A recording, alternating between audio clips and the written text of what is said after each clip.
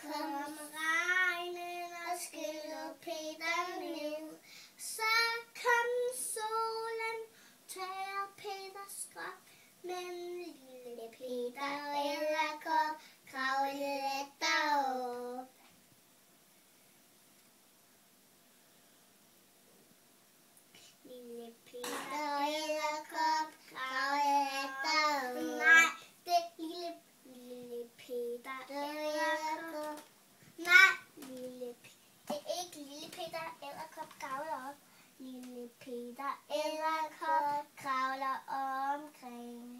I sin mors bene betalte ingenting.